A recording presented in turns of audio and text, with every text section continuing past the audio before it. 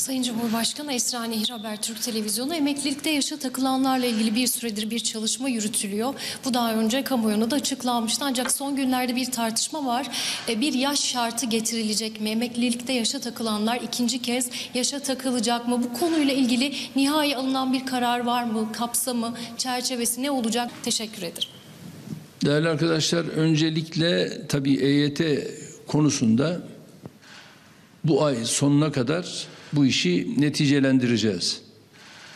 Şu anda ilgili bakan arkadaşlarım çalışmaları sürdürüyorlar ve inşallah ay sonuna kadar da bunu karara bağlayacağız ve 2023'e masamızdan bunu kaldırarak inşallah girmiş olacağız. Olay bu.